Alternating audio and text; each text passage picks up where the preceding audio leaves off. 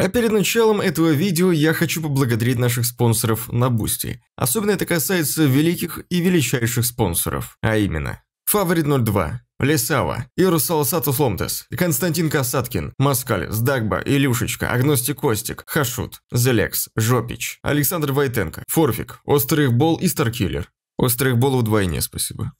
Величайший спонсор у нас Иван Евтушенко. Я есть Руб, комиссар, Кэм 33 Рус, Ренат 22 годика, Атила Гун. На ютубе у нас и спонсором великим является Дима К 55561. Если вы хотите поддержать канал, а также получить классный бонус, то можете оформить спонсорку по ссылке в описании на Бусти. Спасибо.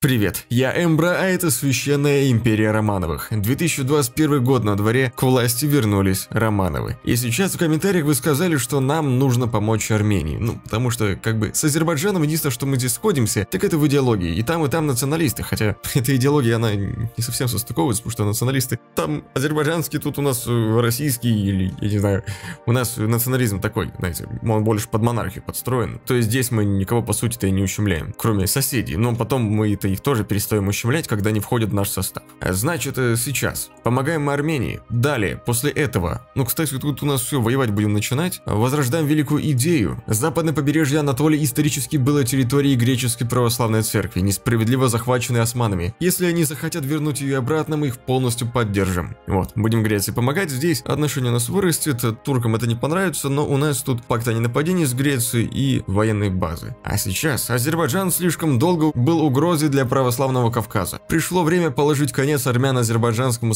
соперничеству и установить полный контроль над Кавказом. Поддержка войны плюс, и тут получим возможность воевать. Пока я сидел, брал этот фокус, э, сижу жду, значит случается вот что. Китай, КНР, нападает на Тайвань. И, кстати, Тайвань никто не помогает. Тут у него по дипломатии только санкции в отношении нас. И все, больше здесь ничего нет. Американцы никак не помогают. Может быть, что-то инвестируют, но больше ничего не вижу. Это главный союзник вне НАТО. Это как бы формальность. Американцы не будут, я так понимаю, вообще никак помогать. Ни войска, ни ленд-лизы, ничего, да? Россия поддерживает Армению. Недавно Россия открыто заявила о поддержке Армении и ее стремлении вернуть свои земли. Интересно. Но в данном случае мы хотя бы будем просто помогать, потому что на нее Азербайджан напал. А далее еще. Ну, брать его, конечно, в альянс мы можем, но здесь влияние Турции почти 78%, еще немножко, и Азербайджан станет марионеткой Турции, бот прожимает это, когда проценты набегают. Здесь же, кстати, в прошлой серии, о, по высадочку, на Иран напала Америка, и все западные страны получили возможность тоже в эту войну вступить на стороне Америки. У нас здесь э, вступила Саудовская Аравия в эту войну, Турция, кто еще здесь? Э, Испания, Британия, Египет э, и вроде как все, да, пока что все. Может еще повступает. Но Иран его сложно здесь захватить. Компания но за него будет скоро. Вообще от обороны можно играть и не париться. Так что, скорее всего, будем всех захватывать, обороняться нам даже не придется. Ну, посмотрим, что там можно ожидать от того обновленного Ирана. Я не знаю, что еще от этого ожидать, а что там будет. Наша предыдущая конституция была, пожалуй, худшей для россиян за всю историю. Чтобы уничтожить эту позорную бумагу, мы собираемся создать нашу новую истинно российскую конституцию. Главный выбор здесь между нашей традиционной централизацией или большей децентрализацией, но экспансионистской. Какой путь мы должны выбрать. Первый вариант э, стабилизировать себя Россия должна, прежде чем помогать другим. Здесь у нас более централизованным станет управление. Кстати, я не прочь перейти обратно вот сюда, вот у нас же было крупное гражданское управление. Потом перешел я в самое минимальное, потому что а нафига нам здесь сидеть? Политики у меня хватало, я вон на 4 страны сейчас влияю сразу. А там влиял на 5. Ну и тогда оно еще и скоро строительство забирало и деньги. А тут и деньги немножко берут, и дебафов нету. Но здесь можем выйти сюда, чтобы у нас все-таки политики побольше стало. Потому что нужно нам влиять на Норвегию, на Румынию, на Бразилию, на Индию поддерживать наши проценты. Сейчас еще на Грецию придется влиять. Скоро возьмем там фокусы. Так что первый вариант нам подходит, а второй вариант это просто военные расходы, которые я недавно до минимальных опустил. Так что, ну нафиг. Тут зато стабильность плюс 2%. О, полезно. Я сейчас взял фокус на Конституцию. Вот этот тут у нас затерялся. Я думаю, что его сейчас не взять. Где ты? Я уж теряю здесь. Вот. А это брать я не буду, потому что это просто переключение тоже здесь вот этих вот законов. Хотя популярность партии интересно. Ну нафиг. Сейчас давайте выходим... А, антитурецкий саммит, смотрите. Курдистан, Армению, Сирию позовем к себе в альянс. Армения, а, она ж не в ОДКБ, да. Позовем в альянс. Кстати, после этого можно будет сделать э, приглашение сепаратистов. Абхазия. Россия... А, это аннексия будет. Я думал, то, что в альянс их возьмем и, короче, начнем воевать на стороне Абхазии с Грузией, но нет. Кстати, здесь тоже националисты, да? Можно было бы их замарионетить, если бы не война. А то когда страна воюет, нельзя марионетить. Ну ладно, погнали антитурецкий саммит. Турция, контролирующая Босфор, представляет угрозу для российской торговли, военной мощи и национальной безопасности. Они также подрывают наших друзей в регионе. Мы должны объединиться с государствами-единомышленниками, чтобы разделить страну. И Турция потеряет стабильность и на всех соседей своих обидится. Но Турция, важно понимать, находится в НАТО. Быканем в сторону Турции это война против НАТО. Сейчас НАТО, оно... Ну, вот эту фигню я быстро захвачу. Потом придется добираться как-то до Франции с Испанией и Британии. Как бы то, что Германия не в альянсе и Италия тоже, это хорошо. Хотя, подожди, может быть, ты здесь надсдух имеешь? Нет, Германия не в альянсе, Италия тоже не в альянсе. Как-то пройти в Дадане можно через Швецию без проблем, а вот дальше добираться. Может было, наверное, как-то замарионетить Германию. Хотя, в принципе, раз уже за Италию взялись, может быть ее добить, 31%, но это тяжело очень дается. Франция очень сильно нам мешает. Но уж проще с Италией, конечно, разобраться, чем заново давить Германию, тут тем более нейтралитет. Потому что это выход сразу в Францию, а после Франции будет Испания, ну и в Британию выход. А к Америке выход у нас есть через Мексику. В Мексике по войскам сейчас ситуация 87 дивизий, то есть даже если сейчас у нас здесь войск не будет наших находиться, то некоторое время мексиканцы могут держаться и без нас. Плюс еще Гондурасик поможет. 12 дивизию. А здесь давайте нападать уже скорее. По авиацию. Стоит я даже еще побольше поставил. И давайте будем двигаться. Вот сюда. Давай, давай, давай. А давай еще сюда будем атаковать, потому что здесь вот э, битва идет. И еще и с этой стороны будем ковырять. И теперь вот так еще и с этой будем атаковать. И здесь будет котел. Индия просит помощи. Да 7, почти 8 триллионов. Я там тебе офисы строил. Для чего? Но в минусе все равно. 31 триллион. Жесть. А я ее реально, я ее до сих пор офисами застраиваю. Вон, всю страну. Ага, ей все равно денег не хватает. Так, давайте сейчас сюда. А, тут вон прошли. Ты смотри, Дербент взяли. Неприятно, но это зато котел. Да, теперь мы сделали зато здесь котел. Теперь мы сюда и сюда. Так, здесь прошли. Сюда. Вот еще котел тоже готов. Закрываем. Кстати, вот это тоже котел маленький такой. Узенький. Давай сюда. И, ну, тут уже Армения справится, ладно. Так, войска сейчас. Подходите обратно. И давайте проходим сюда. Готово. А теперь как-нибудь можно сюда пробиться. Через речку тут получается. Смотри, нормально, все. Быстренько. Сюда погнали. Давай. Оп.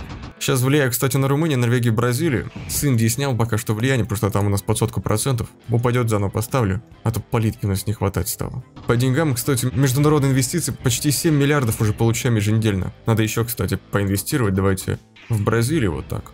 О, уже 6 триллионов у нас в инвестициях. Переворот уже можно делать, но проценты... Да, 69 проценты ужасные. В общем, Восток я взял, Баку, Ширван, а вот это вот Генджа. Это марионетка Армении, Азербайджан. Я ж думал, он тут захватит себе, ну, хотя бы цвет, благодаря сабмоду на перекрас, соответствует Армении, и как бы еще смотрится более-менее. Ну, вот так. Уж лучше всех забрала бы просто, чем так издеваться. Ну, давайте сейчас что мы делаем? Дальше по фокусу проводим саммит и, наверное, немножечко застопоримся, потому что если дальше будем быковать на Турцию, вот этот фокус там брать, нападать, то, ну, это война сразу с НАТО. А нам еще нужно вот этим вот позаниматься, потому что война с НАТО, это, ну, это все, это уже финал, как бы, смысл. Сейчас торопиться, когда у нас вот сколько фокусов здесь. Так что давайте сейчас осудим НАТО мы, конечно же, и перейдем к азиатским амбициям, потому что надо помогать нашему Тайваню. Ой, да, ну Тайваня уже нету, значит. Здесь ситуация с логистикой прям, ну не очень. Давайте будем строить. Тут узел снабжения, тут. Где еще надо? Есть, есть. Ух, тут ужас. Давай-ка узел сюда, ЖДшку проводим. Мне уже военные заводы не нужны в таких количествах, так что поставил я сюда вот офисы, там немножко построили уже. Ресурсов просто не хватает. Так что эти заводы мне просто уже девать некуда. Надо, кстати, вот это вот убрать. Давайте здесь еще узел снабжения и ЖДшечку проводим. Так, Тут бы еще построить на самом деле. И мы что тоже будем атаковать. Давай еще здесь. Обязательно в Таджикистане, а то ужас. Тут вообще нету ничего. Так, встанем здесь, здесь. Тут снабжения хватит. Вот. Ну, из территории Индии, конечно, тоже будем проходить. Но больше это будет делать Индия. Мы-то с севера, вон какая граница. Можем спокойно здесь идти. Но китайцы, да, это одна единая страна. С ней проще справиться в этом плане, что ты взял и пошел в атаку сразу. Не надо там париться, вот это брать, потом вот это, как в НАТО, потом вот это. Тут взял, берешь атакуешь, захватываешь и, скажешь, получается. А войск у них нормально, промка сильная. У них фабрик больше, чем у нас, военных заводов больше, чем у нас. И стоят крупные военные расходы. Так что можем здесь, конечно, упереться. Нефтянка в этот Китай, поэтому я хочу заранее подготовиться, понастроить побольше снабжения, чтобы хотя бы с этим проблем у нас не было. Также авиабазы здесь у нас, э, ну, десятки тут есть, но тут ужас. Так что авиабазы тоже понастрою, размещу побольше самолетов, и тогда они нам уже помогут зарешать. Хотя сначала, в принципе, смотрите, что можем сделать. Претендовать же на Финляндию, мы же в прошлой серии об этом думали. Опа, а что стоит здесь? Мексика? Смотри, что она тут вдруг решила постоять? Эм, ладно, значит, давайте с Финляндией разберемся, войск у нее мало. Я, пожалуй, поставлю сейчас сюда вот две армии и быстренько ее пронесем. У нее западная идеология, она хорошо контачит с американцем. И если сейчас быстро с ней не разобраться, то может быть такое, что она вступит просто в НАТО. И тогда война с НАТО начнется сразу же. А это нам не надо, так что по-быстрому ее захватим. Польский вопрос, но Польша она в НАТО находится, поэтому пока что тоже откладываем. Балканское сотрудничество это возьмем, интеграция с Сербией тоже. Прибалтика, слушай, ты в НАТО, нет? Прибалтика не в НАТО, и здесь везде националисты. Ты посмотри, везде просто. Их защищать НАТО точно не будет. Хотя, может, будет, но явно не с таким упорством, как Финляндию тоже, например. Их, конечно, можно замарионитить, но тратить политвласть вот сюда вот, да ну. Тогда мы их просто захватим. Ну, сокрушать Европу, покончить с США, это уже позже. Вернуть Аляску, то есть вот это и вот это все на Америку. Хотя тут Россия требует Аляску, нам американцы, походу, могут Аляску отдать и просто так, без войны. Опа, скептицизм в Европейском Союзе плюс 15%. Но это не сильно много, на самом деле, чтобы Европейский Союз развалить. Подожди, чтобы этот фокус взять Стамбул до Константинополь и напасть на Турцию, нам нужно контролировать вот этот вот регион. То есть зачем мне претензия на Турцию, где нужно требовать территорию Турции? Как я ее получу без войны-то? Или может мне ее отдадут? Или может, подожди. Русские и армянские делегации достигли взаимной договоренности в ходе последних переговоров, Армения готова принять наше предложение.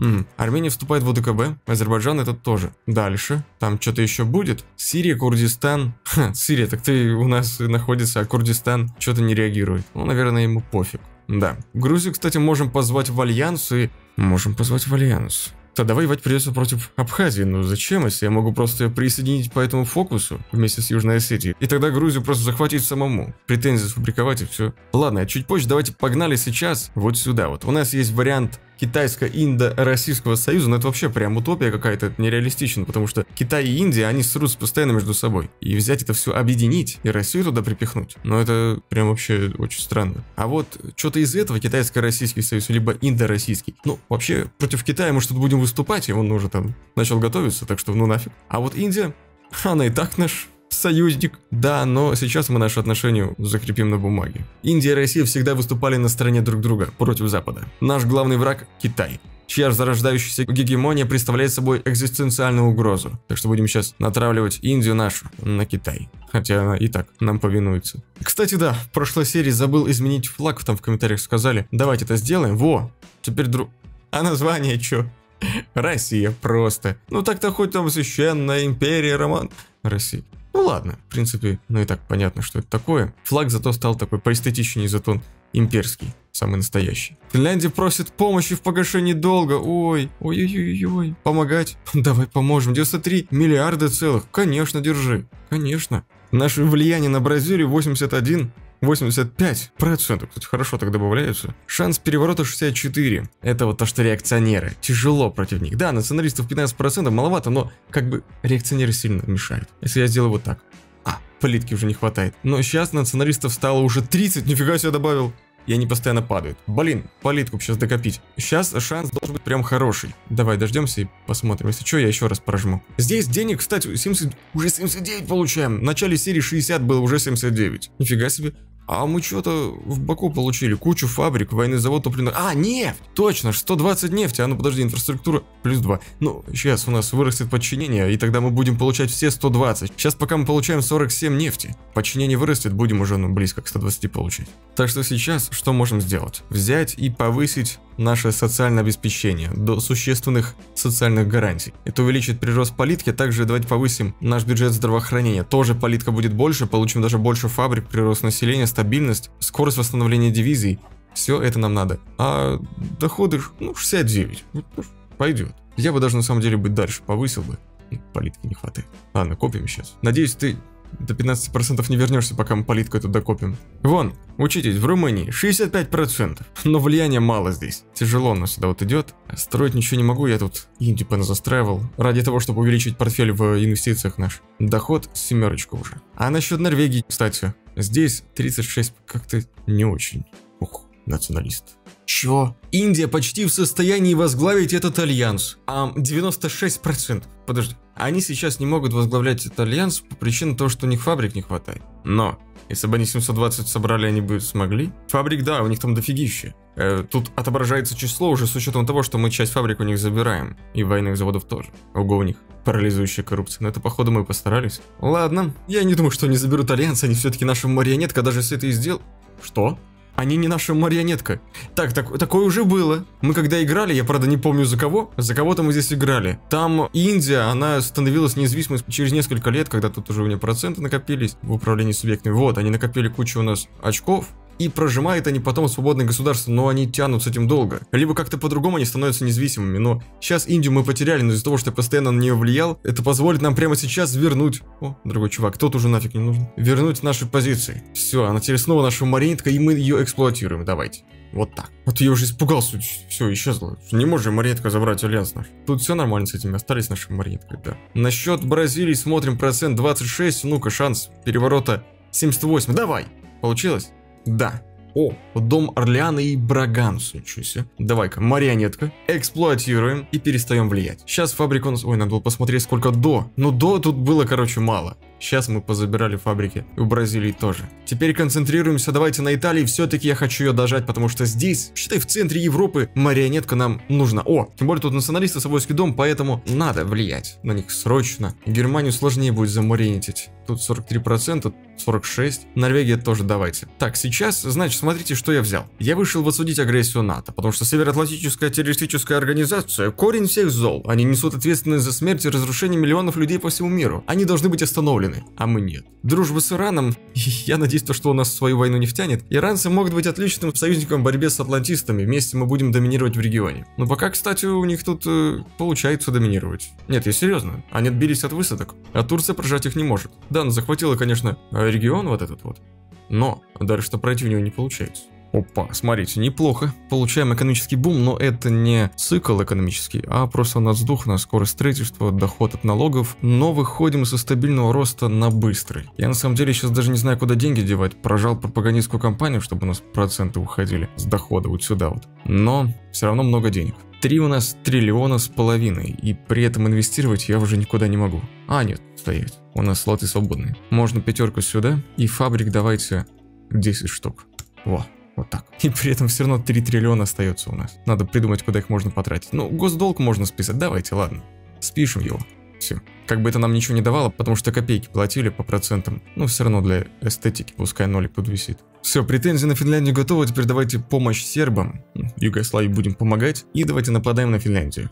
Так, я очень надеюсь, что она в НАТО не вступит. Быстро агрессивно сейчас атакуем, максимально. Быстро нужно захватить, а то там НАТО бывает подключается поздно. То есть, если ты без войны хочешь в альянс вступить, то там это долго, нужно прожимать эти решения постоянно. А так они просто могут вступить именно в альянс, без нас духа НАТО.